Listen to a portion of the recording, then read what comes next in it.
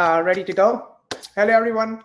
Uh, my name is Jigar, and I work at Intersect uh, as an Android engineer. And today I'm going to talk about Kotlin 102. So first question, why 102? Uh, basically, I, last year I gave a Kotlin introduction talk when we all switched to uh, Kotlin in, at Intersect and you know talked about gotchas and what we learned in Kotlin.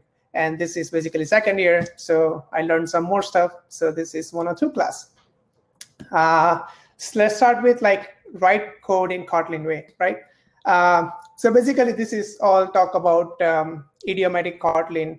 Uh, for first year of my Kotlin learning, like all I did was basically care about uh, nullability and using the let function and apply function. And then eventually I realized that like most of my code still looks like Java uh, because uh, I'm not really writing the, my coding in Kotlin way, like the way Kotlin is supposed to be written, right? Uh, so that's where I started paying more attention to why, how do I basically get better at that? So basically, if you if we start thinking about how, the first thing you can do is like read popular open source Kotlin first code. Like there are good developers, like amazing developers who write Kotlin code, and then you know you can learn a lot from them uh, just by reading their code. Uh, so that's something I would probably suggest you do start doing. Uh, discuss idiomatic way to write Kotlin during PR reviews. So this is something we do at Intersect, and I personally pay attention. I love this idea that we tell each other that oh, this you can write something like this better in Kotlin, and maybe this is uh, this is how we can improve this in Kotlin way. Maybe you can use this collection class, this this fancy new method, and stuff like that. So this is all about basically teaching each other, right, uh, and growing together.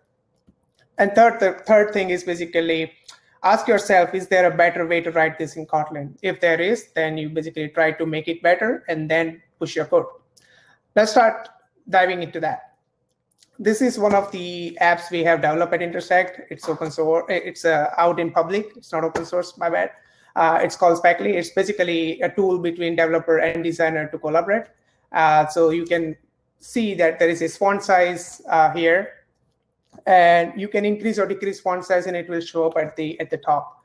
And the like the very minimum requirement is basically that your font size can't be zero right? So what we do is if you keep saying minus minus 8 deep sp it will get decreased and then up to 99 sp it will keep increasing. So let's look at like a very simple function for that. Um, for example, we have a max value, which is 99, mean value is 8, and you have a set current value method. So what you do is you first check whether my new value is whether it's greater than max, which is 99, or less than 8. Then what you want to do is, yeah, it is. Basically, that means it's out of your scope. So what you want to do is if its newer value is greater than max value, if it's 100, then make it 99. Or if it's 7, then make it 8. And then you set the text, the text input layout, and you value set the value. Or you do, uh, or, or, your uh, value is basically falling into the same range, and you are good to go. Now, when you write this, you you might feel like, oh, this is might be like how you write in Java. So how, can we improve this? And then you start digging, doing Stack Overflow and Google and whatever way you can do it. And then you'd have your first iteration, which is basically, yeah, you can improve it. Uh, so we did two things here to improve that function in more of a Kotlin way. One is we use the range, which is like min value dot dot max value. So rather than writing those greater than, less than, or uh, you made it look like more like more readable code. And the next one is more interesting, which is called you use coerceIn and then provided mean value and max value. And that basically achieves you what you were doing before in a much shorter way.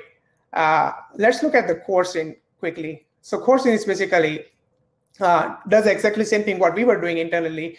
If this is less than minimum value, provide the minimum value. If less than maximum value, provide maximum value. And it also uh, plus point that it accepts the throw because if your mean cannot be greater than maximum, which we definitely missed, so we could have made a mistake. So it's always good to use this, uh, you know, Kotlin functions so that they cover all the cases. Now let's back to let's get back to our code, and now let's ask one more time. Can we improve this further? And you again start digging, and you're saying, why I'm just writing this if and else is every time? Uh, is there something better? And then you found the take if. Uh, so take if is basically a standard function in Kotlin. And what it does is you provide it a value and then it gives you that value if the predicate is true. Otherwise, you basically have a, a nullable and then you can provide a default value. Uh, so let's look at that take if quickly. It just says returns this value if satisfied the given predicate or null if doesn't.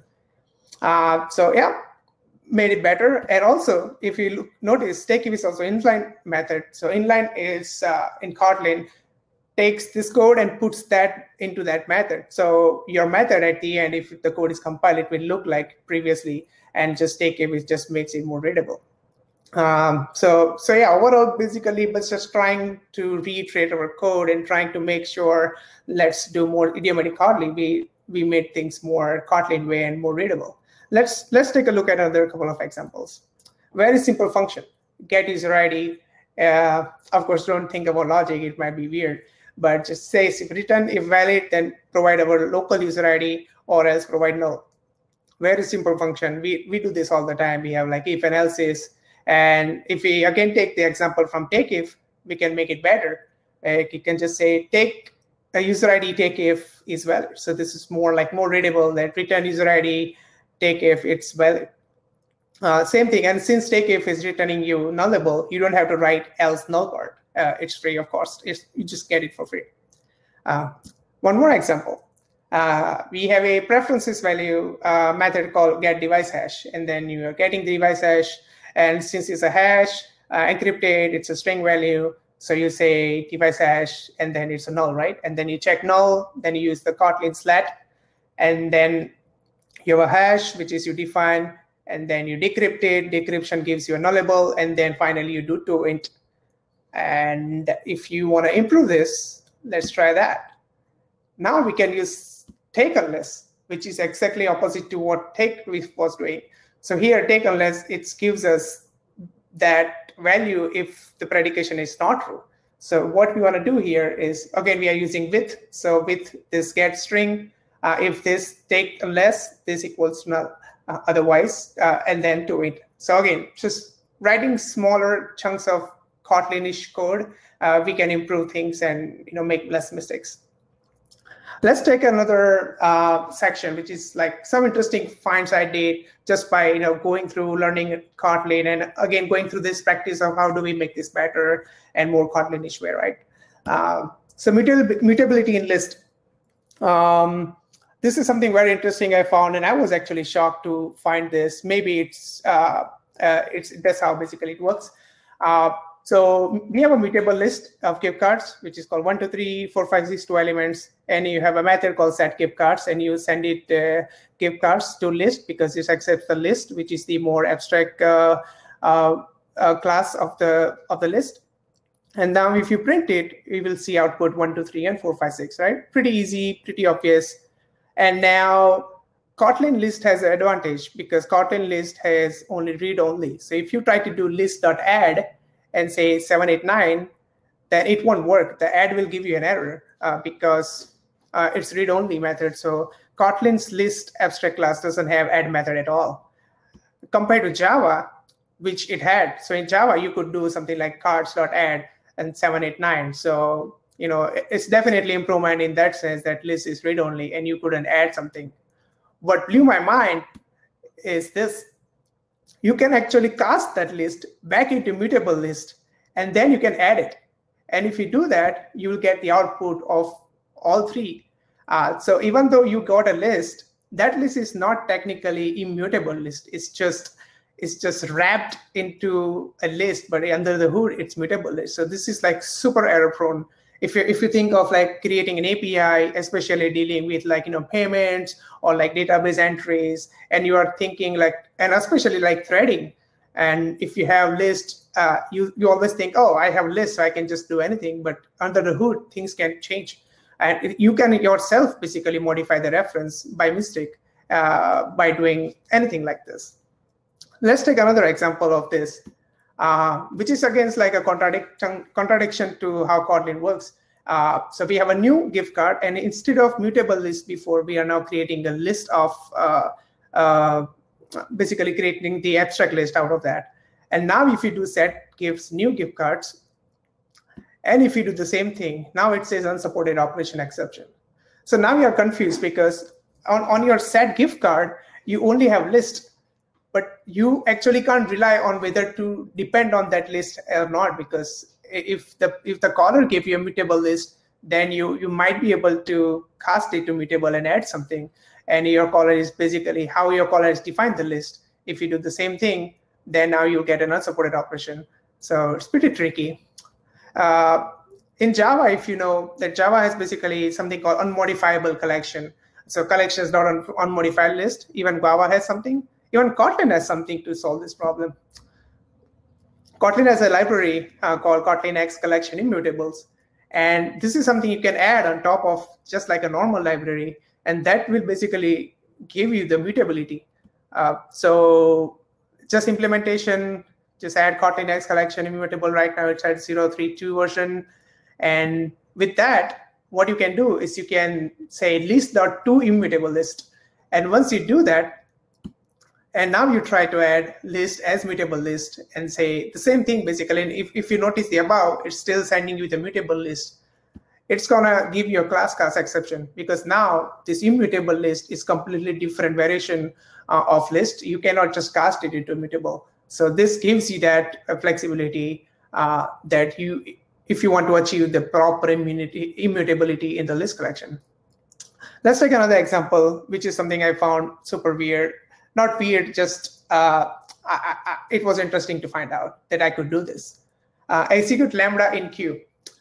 Let's let's take an example. You have a requirement that I want to create an analytics. Uh, uh is you have an analytics API, right? And you have analytics for product listing in the app. And then once user clicks on one of the products, you want to uh, send the analytics as well. But you want to make sure that your product listing analytics call happens on, like before the product listing action call so that you have a sequential APIs. Uh, as an example, we have a playground SDK and you have a method called send product list analytics and you have another method called send product list action analytics and both of them are basically calling creating a global uh, scope which is coroutine just simple stuff uh, and then uh, create, calling the suspended functions of both the put calls and then retrofit takes care. Now, for example, if a caller is calling send product list analytics and send product list action analytics, they just keep calling it. And you have no way to basically know that they will call, they will be sequential, right? Because this is your SDK, that's an app, and you can't control that. So there, there are multiple ways to solve this. One is you create an executor service and you make sure that only one calls happen at a time or or you create some kind of you know crazy code where you make sure that there is this sequential uh, uh, you know lock or some synchronize uh, like more complex stuff even you can use rx java and make it an observable stream which is only like one at a time so what i was trying to do is solve it in a, in a in a simpler way and what i could do i found out is i can have a queue of suspended functions. So think of it, this is a array list of functions which you will be calling. It's not just array list of items. So since we have the lambdas, we can do things like this. So what I did as a simple uh, example, I created a suspension function and called enqueue_put. And what it takes is a suspended function as an argument.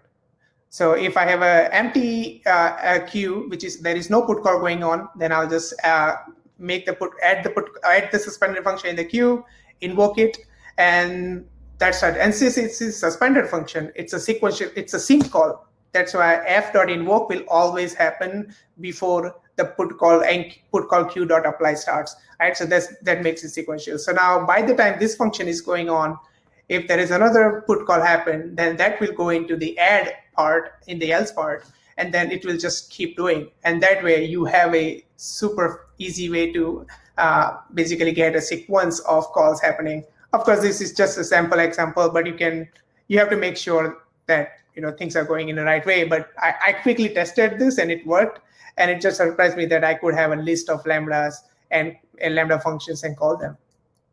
And then now your send product uh, list analytics will basically look like uh, you have a, a, scope function and you say enqueue put and it's a lambda, so you put that enqueue. So now if you call these functions 20 times, it will make sure that they, the whole function block will be called uh, sequentially.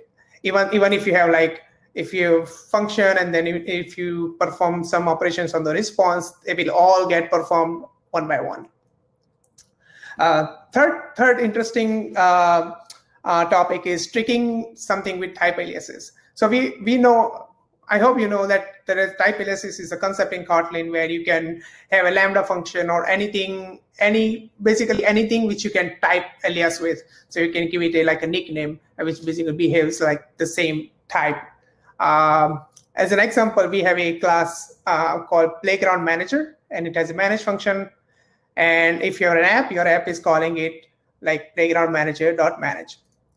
Now, if you notice, there is a typo, which is that I have a spelling mistake, M-A-N-E-G-E-R. And uh, uh, think of this as like you have already shipped your library or you have shipped your app and your app is using this manager in like 50 classes.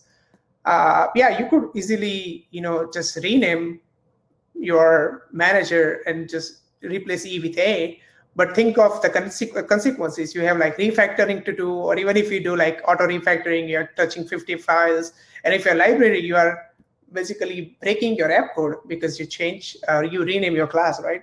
And but you want to rename it. So how do you trick something? So you can trick something like this with a type alias.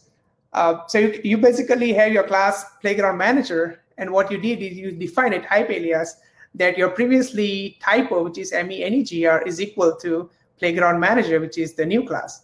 And if you do this, now your Kotlin code below, it will still work on the app side with MENEGR, uh, but on SDK side, you fix the problem. And of course, eventually you want to make it deprecated and you know, go through the deprecation cycle.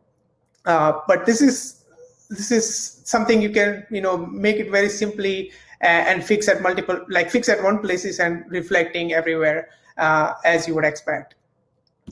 Uh, let's take a look at one more example like that, executive when. This is something I found um, and I had no idea while I was working. I basically found a bug and and I, I had to search about this and that's how I came to know. Uh, it is five years old problem and um, it's still pending at, in, in the JetBrains and they're still uh, debating about this. So let, let's let's dive into this so when we all learn in Kotlin that oh this when is a fancy block where you know it will make sure you never make a mistake and all your all the uh, expression you're passing it will make sure you have all the cases otherwise you have to put this else uh, else case right? So if you if you look at this there is a sealed class called view state. And there is a data class which is a part of the is, is a child of that sealed class for normal state. And there is a another state called loading state. And you have a function like this called handle state. And then you're passing a state, you have a when expression, and then if you notice, this is not used as an expression. It's because there is no return value. So in the when, in the normal case, you are doing something. You're probably calling the view code, or in the load, you're just calling view dot show something, uh, show loading spinner. So uh, life is good, all good. And then next day you realize, oh, you forgot an error case because you want to show error. And, and then you try to run the app and you notice there are no errors. Uh, that's weird because I thought like I added the when and then I added the error. So it should tell me that, you know, error is missing and put an else case or something. But the problem is because it's not used an expression, there is no return value when never does that. And if, if you try to basically solve, if you try to mimic this as an expression. So for example, if you in the when you return something and set it in a value, now your when is used as an expression and not without expression. So now as soon as you do this, your when will give an error saying, oh, when expression must be exhaustive and add necessary error branch or else branch exists, uh, else branch instead. So now it forces you. So this is this is a common problem and very easy to make this mistake and there is a popular solution everywhere now. Uh, this is an example from the Plaid app, uh, popular open source app. If you haven't checked out, take a look. It has really good Kotlin lots of learning there.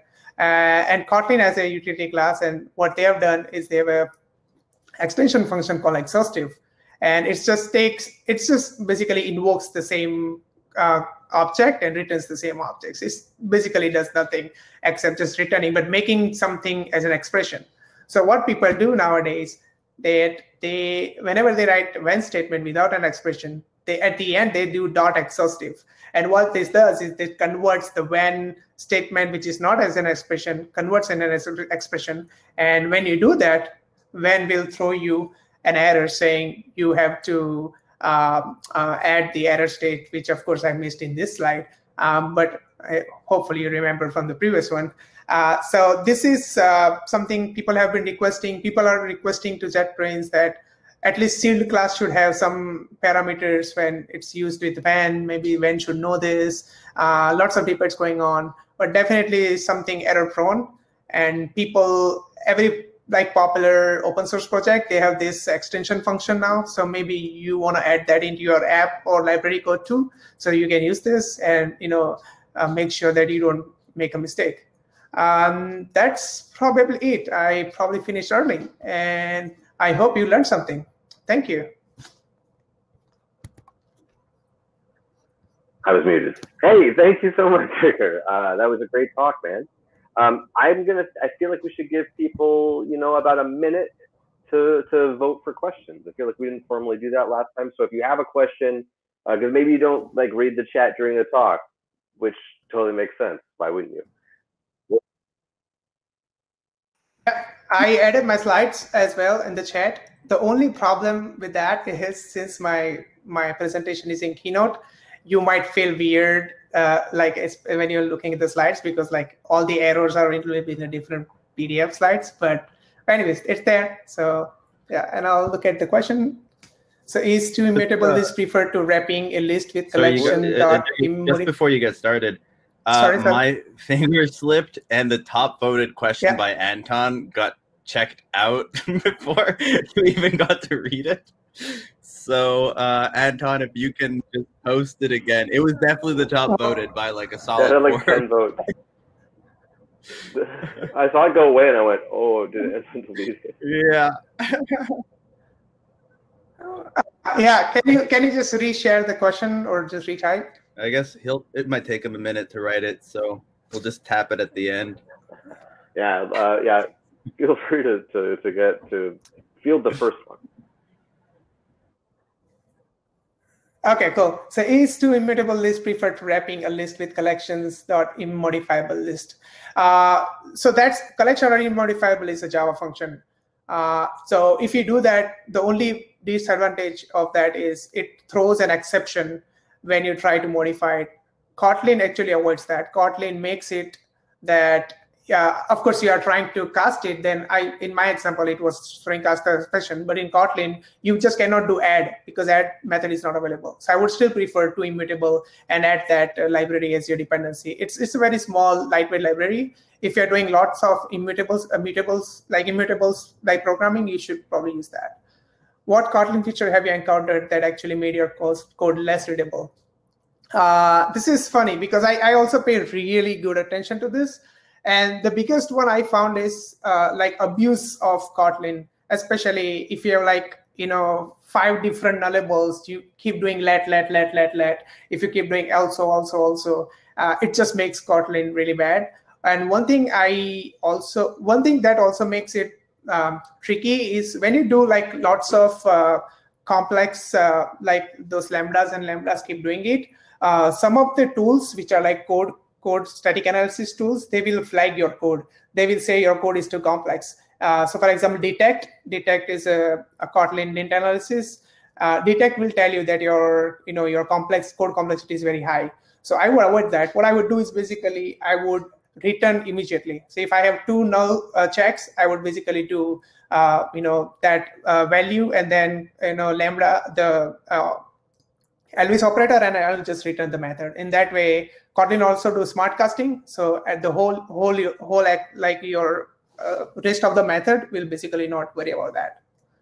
I believe it was where you draw the line between Kotlin and scalability. Uh, do you have any guidelines for that as well? I think he rewrote, rewrote uh, himself.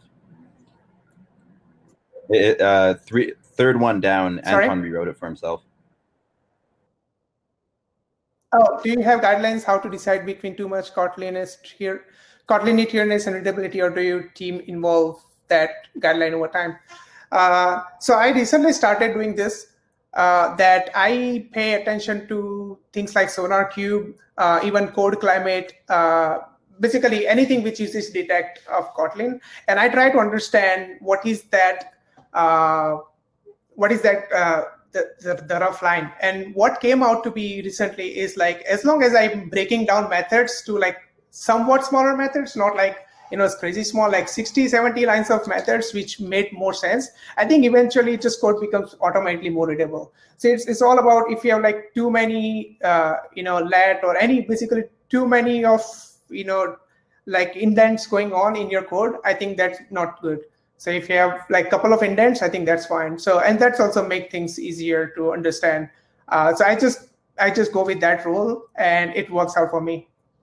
Uh, I, ho- I hope that answers your question. I think the number 10 most voted is also the same thing about readability. Uh, I have found that people kind of abuse some concepts and that's how the code gets more unreadable. But otherwise, if you just keep doing breakdown methods, eventually everything you know ties together. Breaking down methods helps you in unit testing and then thinking you like you know how how all methods make more unit testable and then also make Scorio readable and also you do more Kotlin stuff so it's like a one win like one good practice makes you like tons of good advantages. So yeah that's all. Isn't calling suspended function in coroutine launch keep them sequential? If i'm correct concurrency is achieved explicitly by using async. Do we need to do priority queue then? Uh, so this is where, where like someone else is calling your code. Uh, this is it's not like up to your hand. For example, if I'm on the app side, if I have a library, if I'm calling your library's function in one uh, screen, and if I go to another screen too fast and I made another call, you don't have common place for that, right? This is more like you from different places you have a code which is getting executed out of your control, make them sequential. Uh, what you are saying with async, if it makes sense when you have, you know that you have three functions sequentially called by yourself, then you will do them sequentially. But this is out of your control that who is calling your code and your method. So that's where this priority queue or anything like this comes in a picture where you have to maintain or think of it like if you have a 2FA uh, uh, you know function or something calling in your API, it is calling you, giving you a 2FA uh, check to do in your app. What you will do, like you have to first make a 2FA call, do some functionality, and then continue with your uh, previous call. So you, in this, those kind of thing, you can basically make those lambdas and put them in a queue um, and achieve the same thing. Uh, it was an easy example, but I think like putting lambda in a list was crazy to me, and it worked out. So that was something I wanted to point out. But uh, more we can explore more later. Uh, so yeah, I think that's about it. Do, do I have more time or I can go, I can go all day. It's up to you. Um, yeah, if you want to field that final one about exhaustive, go for it, man. And then uh, what we'll do is we'll exhaustive of yeah exhaustive on when even without the exhaustive the industry IDE will give at least a warning. It doesn't give you warning, especially when you have not an expression like all my code, like whatever I posted in the slideshow, they're all like live from like IDE copy pasted, and they never IDE doesn't give you warning at least at this point. Maybe Android Studio or maybe 4.2 Canary has it. Uh, as of now, 4.0 stable doesn't have that. So maybe it's something coming up, and Android fix it with just a lint warning. Uh, that would be great actually if that happens. Uh, what were the names of good examples of Kotlin code to read? I would say Plaid app is pretty good. Um, then uh, I'm I'm actually reading AndroidX code, Android KTX code. If they're like uh, the paging three library was completely written in Kotlin, so you can take a look at that. Uh, go to cs.androidsearch.com. That's like the best thing ever, and I keep reading that. I'm sharing that in the chat. That's amazing tool. You can read basically read. Uh, if you don't know about that, you can just keep reading Android code all day, and it's really helpful. So I keep doing that and find out some gems from Android Steam as well. And uh, and that, yes, just and also one of the uh, best codes I found also in OKHTTP 4. OKHTTP 4 converted into 100% Kotlin. uh, in the 4.x version, and they done some amazing like you know stuff internally. So check out our KSDB4 as well.